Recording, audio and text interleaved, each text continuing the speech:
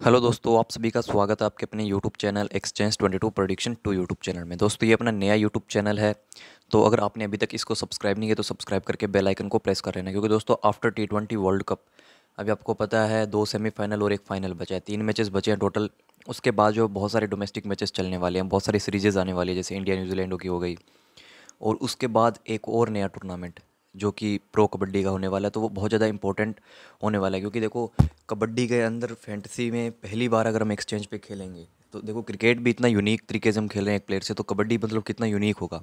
Cricket में अगर हमारा एक प्लेयर जैसे बैट्समैन है, अगर वो, उसकी एक बॉल ख़राब आ गई, अगर वो आउट हो गया तो हमारी कहानी ख़त्म, अगर हमने उसको बाय किया है। बट कबड्डी में अगर हमारा रेटर आउट भी होता है तो उसको चांस मिलेगा।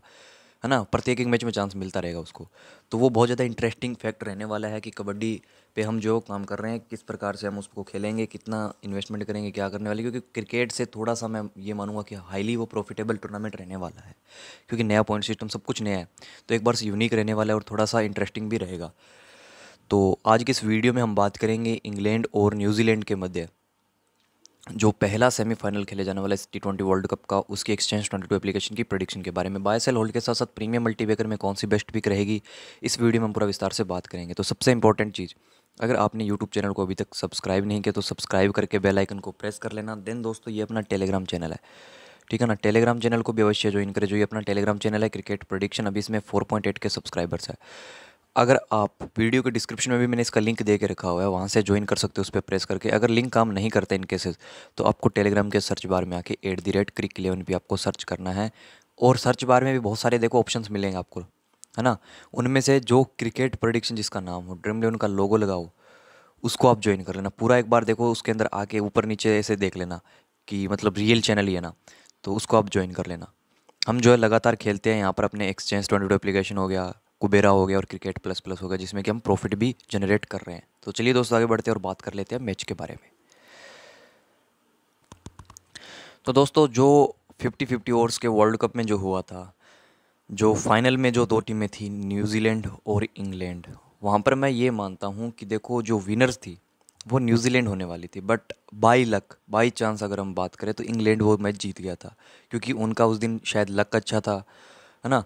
बट रिवेंज की अगर हम बात करें रिवेंज ले सकते इस इस वर्ल्ड कप में यही हो रहा है कि एक टीम दूसरी टीम से रिवेंज निकाल रही है। हमने सब कुछ देखा। हमने देखा साउथ अफ्रीका ने किस प्रकार से इंग्लैंड को हराया। भले ही दस रन से हारी हो बट हराया एक मुश्किल विकेट पे। इंडिया पाकिस्तान के मैच में, पाकिस्तान कभी भी इंडिया को world cup T twenty world cup या इंटरनेशनल के जो वर्ल्ड कप फॉर्मेट है, उसमें कभी नहीं हरा पाया था। उसने भी इंडिया को हरा दिया। और उसके बाद अगर हम बात करें मतलब ऊपर नीचे सब कुछ हो रहा था। और तो वही बात हम बोलें कि जो रिवेंज है वो इंग्लैंड की टीम से न्यूजीलैंड ले सकता है। और टीम की अगर हम बात करें, दोनों टीमें बेहतरीन हैं।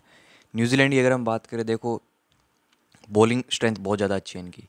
इंग्लैंड की अगर हम बात करें, देखो, वो हमें बॉलिंग में इतनी ज़्यादा अच्छी स्ट्रेंथ दिखाई नहीं देगी, बट बैटिंग स्ट्रेंथ इनकी बेहतरीन है। तो अब टोटल अगर हम बात करें, देखो ठीक ठाक प्लेयर है, पावर प्ले में भी मतलब बराबरी पे है ये, रनों के मामले में, डेथ ओवर्स में भी ठीक ठाक चल रही है। और अगर हम बात करें इस मैच के अंदर सबसे स्पेशली तो दोस्तों आबू धाबी का जो स्टेडियम है, वहाँ की विकेट वैसे ही मतलब धीमे धीमे चलती है थोड़ी सी धीमे हो जाएगी। ड्यू फैक्टर भी हमें देखने को मिलता ही है स्पेशली क्योंकि चेस वगैरह थोड़ा सा आसान रहता है इस विकेट पे। बट गेम जो है वो मैं अगर बात करूँ तो बहुत ज़्यादा अच्छा देखने को हमें मिलने वाला है। मार्टिन कप्टिल ने न्यूजीलैंड के लिए बहुत ज़्यादा अच्छे काम किए। देखो, जहाँ पर स्कॉटलैंड के खिलाफ अगर हम बात करें एक बार तो जो है वो फंस गया था न्यूजीलैंड।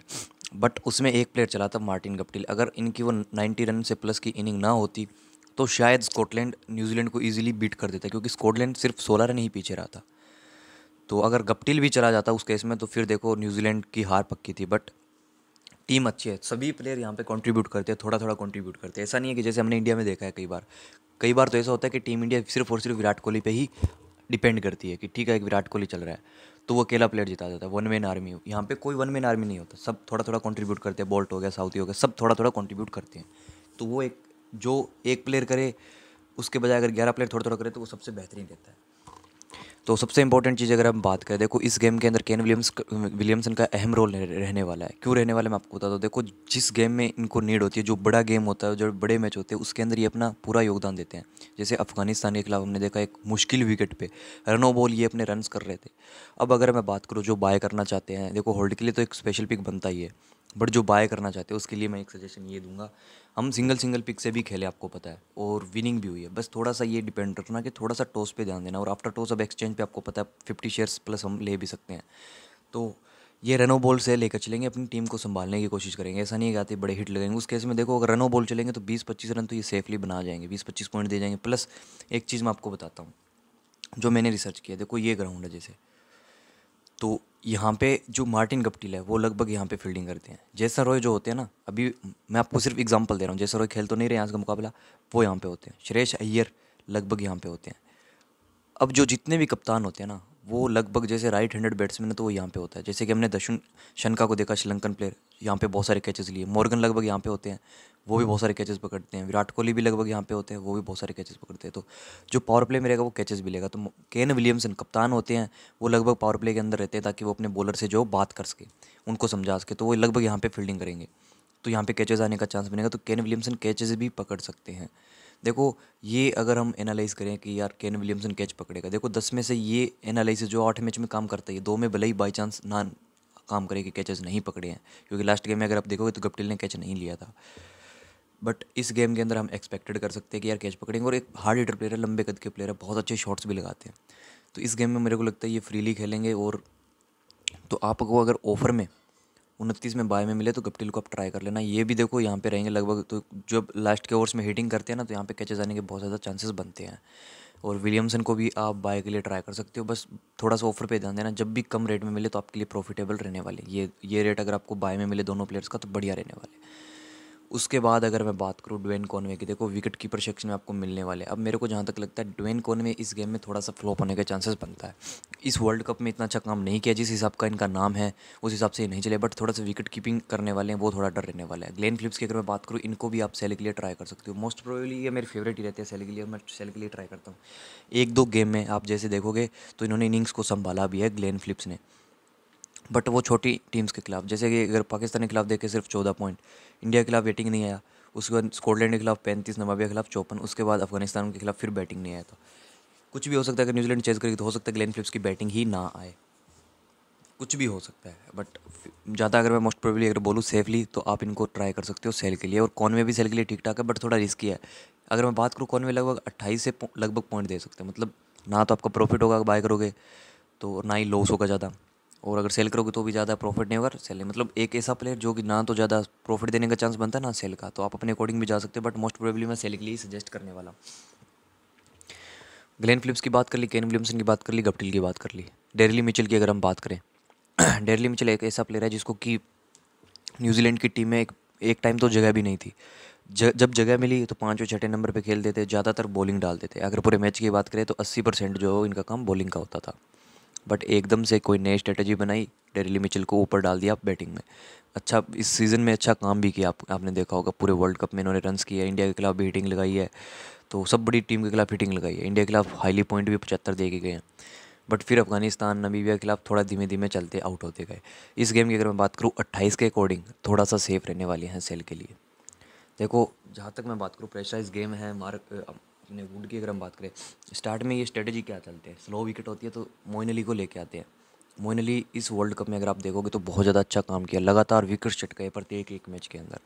सिर्फ़ और सिर्फ़ अगर ऑस्ट्रेलिया इंग्लैंड का मैच निकाल दें, जहाँ पे कि इनको बॉलिंग नहीं दी क्योंकि वो विकेट ही इनके काम का नहीं था। उसके अलावा चौरासी, अट्ठावन, चालीस, चौंसठ, सब मैच में इन्होंने अच्छा काम किया। तो मोइन अली से भी आप उम्मीद रख सकते हो एक अच्छे मैच की। तो डेरीली मिचल को भी आप सेल के लिए ट्राई कर सकते हो यहाँ से, सब कुछ आपके सामने है। अब बात करते हैं सेंटनर की। देखो सेंटनर का थोड़ा सा वो काम होता है ना टॉस पे डिपेंड वाली बात। अब बहुत सारे लोग बोलते हैं, भाई आफ्टर टॉस पिक दिया करो। मैंने दो पिक दिए अभी आपको इन दिनों, क्योंकि मैं थोड़ा बिज़ी रहता था, आपको मैंने बोला था।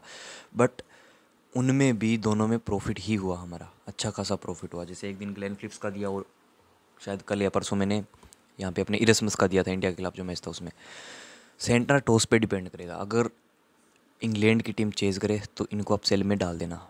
ठीक है ना? बढ़िया प्रॉफिट हो जाएगा। निशम थोड़ा रिस्की है स्टिल मैं आपको ये बोलूँगा।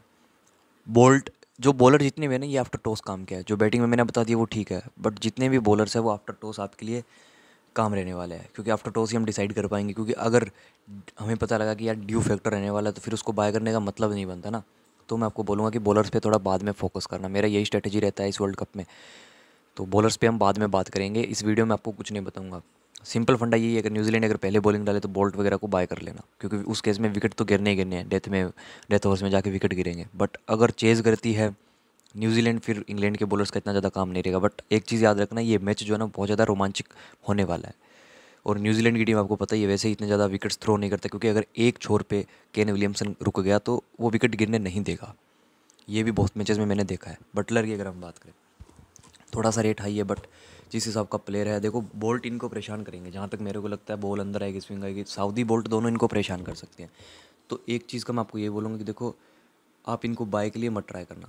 थोड़े से रिस्क है, जिसको लगे वो ट्राई कर लेना। बट मेरे अकॉर्डिंग देखो बाय में रिस्क रहने वाला है। सिर्फ़ और सिर्फ़ होल्ड पे आप चांस ले सकते हो। अगर बाई लग काम लग काम करता है तो चल जाएगा। क्योंकि प्रेशराइज गेम है तो उसमें शायद बटलर इतना अच्छा काम ना कर पाए।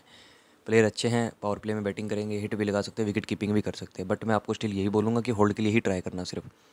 उसके बाद अगर हम बात करें, अब देखो एक कन्फ्यूज़न बहुत बड़ा हो गया। ओपनिंग में सेम बिलिंग्स आएँगे जेम्स विंस आएँगे, जो कि अभी फ़िलहाल एक्सचेंज में शायद नहीं है या बेस्ट आएँगे। तो अगर बिलिंग्स ओपनिंग करने आते हैं तो देखो बहुत बड़ा हमारे लिए जो एक, ये प्लेयर रह सकता है अगर खेलता है। और जहाँ तक मेरे को लगता है चांसेस बिलिंग्स या विंस में से किसी एक का बनता है और वो ओपनिंग करेंगे।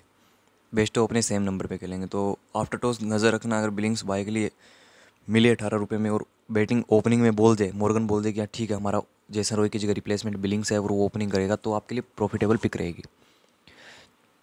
उसके बाद में अगर हम बात करें जैसे कि Morgan David Malan Moeen Ali Livingstone बहुत सारे अच्छे अच्छे नाम हैं यहाँ पर। बॉलर्स का जैसे मैंने बोल दिया आपको स्टार्ट में ही इन पे आप थोड़ा सा बाद में ध्यान देना इन चारों पे। हम बात करेंगे मेन मेन प्लेयर्स की। जॉनी बेस्टो की अगर मैं बात करूँ लास्ट गेम में मैंने इनको सेल के लिए ट्राई किया था। आपको जो भी इंग्लैंड का मैच था, उसमें प्रॉफिट दिया इन्होंने। इस गेम में भी मेरे को जहाँ तक लगता है, देखो थोड़ा सा सीज़न इनके लिए डाउन ही जा रहा है तो आप इनको सेल के लिए ट्राई कर सकते हो। एक अच्छी बॉलिंग यूनिट है न्यूजीलैंड के पास। डेविड मलान की भी अगर मैं बात करूँ, इनको भी आप सेल के लिए ट्राई कर सकते हो। दो मलान भी देखो, एक ओपनर का दावा रखते हैं बट स्टिल कोई मतलब न्यूज़ नहीं है। तो मलान बेस्टो दोनों को आप सेल के लिए ट्राई कर सकते हो। मेरे अकॉर्डिंग प्रॉफिटेबल रहने वाले हैं। मोइन अली बाय के लिए बढ़िया रहेंगे, विकेट चटका सकते हैं इस गेम में। होल्ड के लिए भी बढ़िया रहने वाले लिविंगस्टन देखो, अभी मैं अनएक्सपेक्टेड लग रहे हैं मेरे को। पता नहीं कहाँ पे बैटिंग आएगी। हो सकता है इनको भी ओपनिंग करवा दे, क्योंकि ओपनिंग के बहुत ज़्यादा ऑप्शन हैं इनके पास। जोनी बेस्टो भी ओपनिंग करते थे मलान भी ओपनिंग करते थे, लिविंगस्टन भी ओपनिंग करते थे बिलिंग्स भी ओपनिंग करते हैं। तो कोई भी हो सकता है, कुछ भी हो सकता है। तो एक एक चीज़ मैंने आपको बता दी स्टिल और बाकी बॉलर्स को बाय करने वाला जो इस पर भी एक वीडियो आने वाला है कि कब किस कंडीशन में हम बॉलर को बाय करें। क्योंकि बॉलर या तो प्रॉफिट देगा या लॉस देगा। अगर विकेट नहीं चटकाई तो हमारा टोटल का टोटल पैसा डूब जाएगा। और बैट्समैन अगर थोड़े बहुत रन करता है तो कुछ ना कुछ हमें रिटर्न मिल जाता है। तो ये था बाय सेल का वीडियो प्रीमियम मल्टीबैगर की अगर हम बात करें।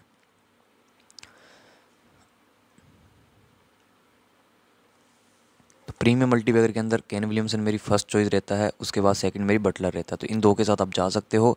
बाकी आप अपने अकॉर्डिंग भी थोड़ा ट्राई कर सकते हो। बट स्टिल मैं आपको दो पिक ही बताने वाला हूँ। दोनों इंपॉर्टेंट रहने वाली है। बाकी जिसको चांस लेना, वो एक एक शेयर अगर जिस प्लेयर का रिटर्न हाई हो, जैसे कि यहाँ से अगर मैं बात करूँ तो गप्टिल थोड़ा सा सेफ़ भी लग रहा है तो इसको भी आप ट्राई कर सकते हो बट स्टिल दो सेफ़ लग रहे हैं मेरे को। बाकी मिलते हैं नेक्स्ट वीडियो में। अगर आपको वीडियो अच्छा लगा तो एक लाइक कर देना कॉमेंट भी आप कर सकते हो, और यूट्यूब चैनल को सब्सक्राइब कर लेना। मिलते हैं नेक्स्ट वीडियो में, तब तक के लिए जय हिंद, जय भारत।